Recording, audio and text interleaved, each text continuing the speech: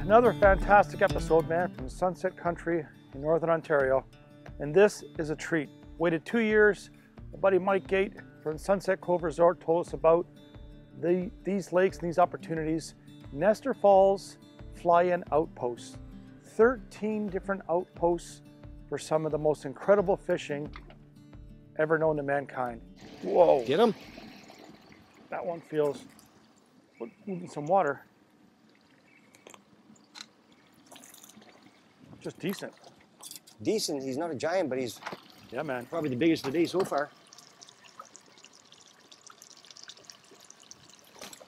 Wow, exciting, eh? Want to net him? Sure. Oh, healthy, aren't they? You betcha. Wow. A little prop bait. I bet you anything, these fish have probably never seen this bait.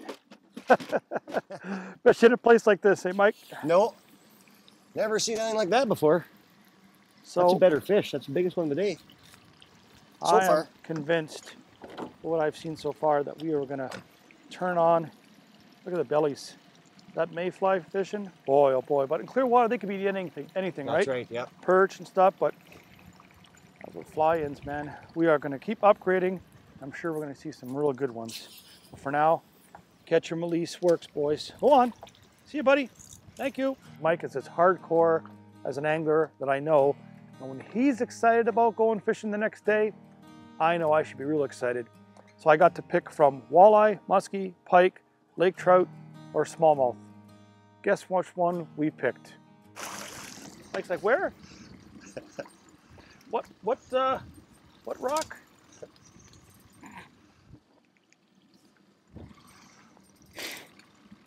There's one I wanted to eat.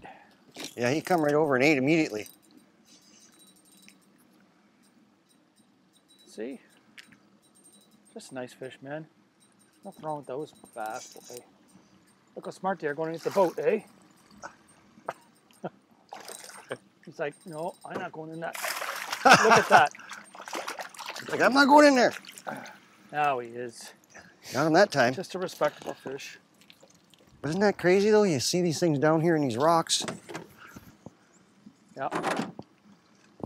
Little finesse jig, but they're also healthy too, hey? Yeah. Away you go. If you said smallmouth, you're right.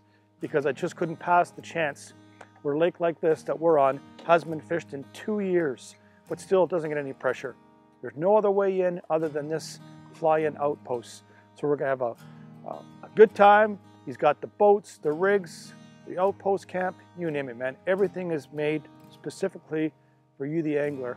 Hopefully what you see on today, what we're gonna do, inspires you to say, I need to treat myself after what went on in the world the last little while.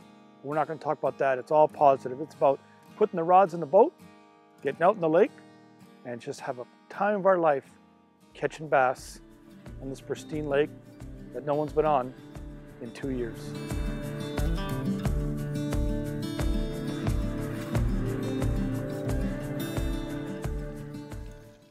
Mike, this is scary, dude. I know.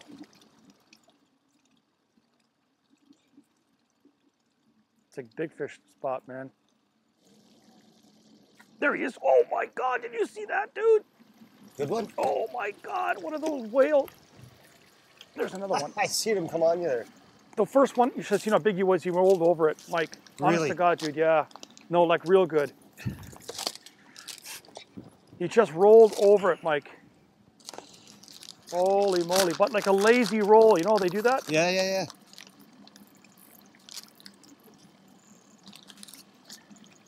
You need the net there? I think. Might. Here he comes, Kent. He looks like he's a netter. Yeah. Good job. First one was a real good one, dude. Look how green This is nice, but oh, beauty. Look how green that guy is. Yeah, man. Chunky fat bass. Let's let him go and swim. What a place. Isn't he beautiful? Ready? Look at the colors on him. Oh eh? yeah. Come on, buddy. See ya. Whoo! He's a greenie. off this point, Mike. It's, it, we gotta get some big ones Yeah. here, dude. The one I saw come up, honest to God, his head was like this. He went, rolled. I twitched it once, and then that one ate it. Ugh. Wow. All right, Okay, let's do it. let's do it to it.